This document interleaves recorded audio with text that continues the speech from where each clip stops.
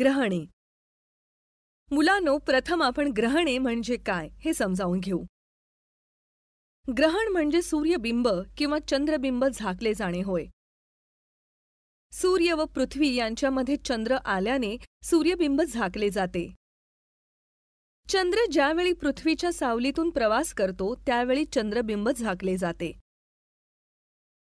अशी स्थिती केवळ सूर्य चंद्र व पृथ्वी हे तिन्ही खगोल जेव्हा एकाच रेषेत येतात तेव्हाच होते.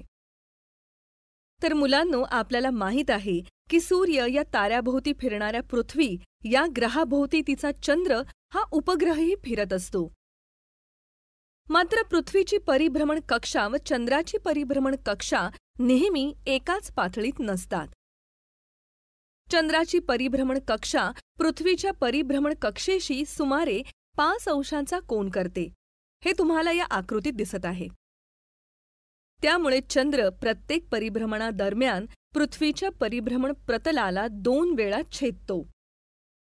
प्रत्येक अमावस्येला सूर्य चंद्र पृथ्वी यांना जोडणाऱ्या रेषेत शून्य अंशाचा कोन असतो. तर पौर्णिमेला तो एकशे ऐंशी अंशाचा असतो. ग्रहणे अमावस्येला व पौर्णिमेलाच होतात. असे असले तरीही प्रत्येक अमावस्या किंवा पौर्णिमेला सूर्य चंद्र पृथ्वी एका पातळीत व एका सरळ रेषेत येत नाहीत. म्हणूनच प्रत्येक अमावस्येला व पौर्णिमेला ग्रहण होत नाही. तर मुलांनो आता आपण चंद्र पृथ्वी व सूर्य यांची कृष्ण आणि शुक्ल पक्षातील अष्टमीची तसेच अमावस्येच्या दिवशीची सापेक्ष स्थिती कोणती असेल ते पाहू. तसेच या दिवशी चंद्र पृथ्वी सूर्य यांच्यातील कोण किती अंशाचे असतील? आणि प्रत्येक महिन्यात असे कोण किती वेळा होतील याची थोडक्यात माहिती घेऊया. चंद्र पृथ्वी व सूर्य यांची कृष्ण व शुक्ल पक्षातील अष्टमीच्या दिवशी तसेच अमावस्येच्या दिवशी स्थिती पुढीलप्रमाणे असेल. कृष्ण पक्षातील अष्टमीच्या दिवशी चंद्र पृथ्वी सूर्य यांच्यातील कोन नव्वद अंशाचा असेल. तर शुक्ल पक्षातील अष्टमीच्या दिवशी चंद्र पृथ्वी सूर्य यांच्यातील कोन नव्वद अंशाचा असेल.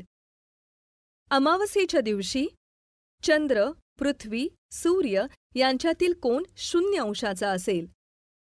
आणि पौर्णिमेच्या दिवशी चंद्र पृथ्वी सूर्य यांच्यातील कोन एकशे ऐंशी अंशाचा असेल. प्रत्येक महिन्यातील अष्टमीच्या स्थितीतील कोन हे दोन वेळा होतील. तर अमावस्या व पौर्णिमेच्या स्थितीतील कोन हे एक वेळा होतील. तर मुलांनो ग्रहणे प्रामुख्याने दोन प्रकारची असतात. सूर्यग्रहण व चंद्रग्रहण.